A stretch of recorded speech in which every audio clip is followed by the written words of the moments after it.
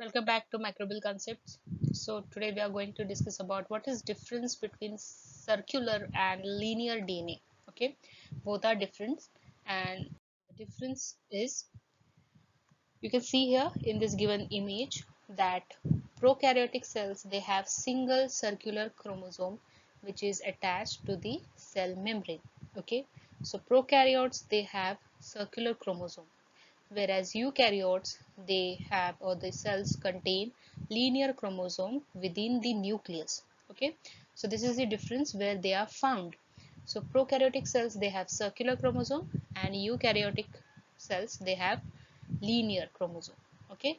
Or linear dna now the difference here you can see linear dna and circular dna so the dna with two ends.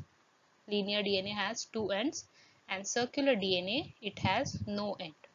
Example, the genetic material in the nucleus of eukaryotes and the genetic material of prokaryotes as well as the mitochondrial DNA and cpDNA also known as chloroplast DNA okay CP stands for chloroplast now linear DNA is exclusively it occurs inside nucleus Circular DNA occurs in the cytoplasm or inside organelles like mitochondria and chloroplast.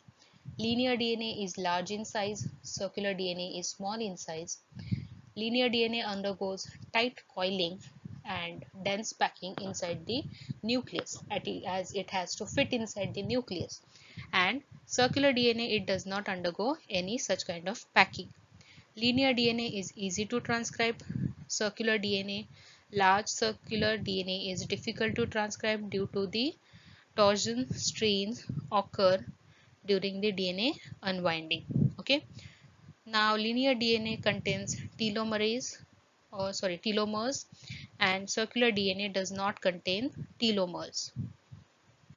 Now what is telomeres or telomeres? They are end of the chromosome. Okay.